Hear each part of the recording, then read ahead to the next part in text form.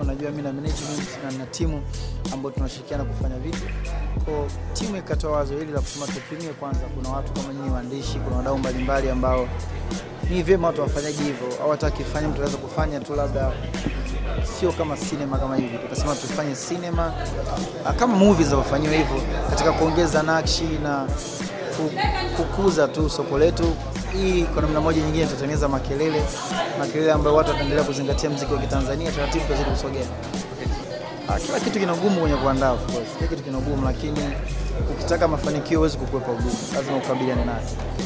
Kwa ni mshukuru Mwenyezi Mungu, mapokezi makubwa sana, kwa sababu kuna nyimbo zote mpya na kila nyimbo imefanya vizuri kwa sehemu yake, kila nyimbo imefanya vizuri. Namshukuru sana Mwenyezi Mungu sana. Kila chat ukienda ma YouTube, Boomplay, Apple Music, Spotify ni baraka za kumshukuru Mwenyezi Mungu. Niseme ukiona na subra, ukifanya kazi kwa bidii, ukimwomba Mwenyezi Mungu anabariki, anafungua. I can say maybe it's our time na Watanzania.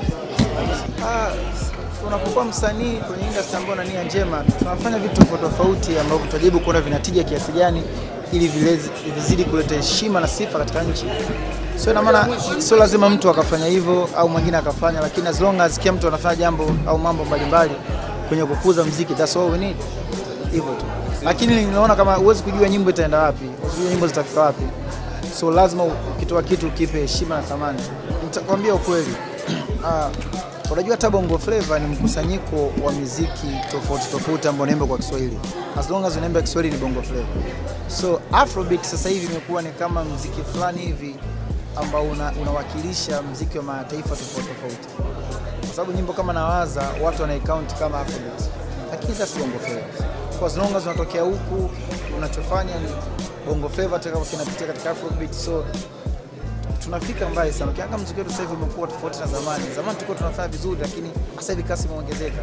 So ni wakati wetu kwa wasanii, kwa wadau kushirikiana, tupush, kwa sababu milango iko wazi. Uh, tukiongeza nguvu katika kufanya kazi kwa bidii tutafika. Nampongeza tu, nampongeza kazi kubwa.